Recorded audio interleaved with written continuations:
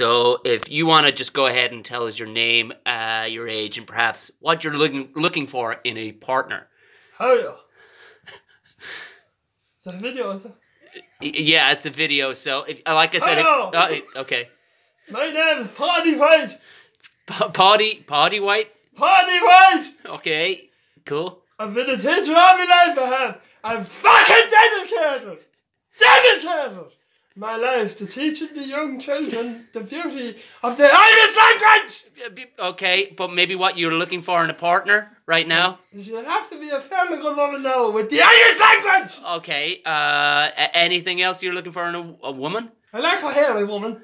A woman with a good bit of insulation on her so she can keep herself warm in the evening. A hairy woman? And yeah, good hairy woman, yeah. Uh, and yeah. what what do you feel you have to offer your future partner? Well, I'm a good hairy man as well. Oh, good lord!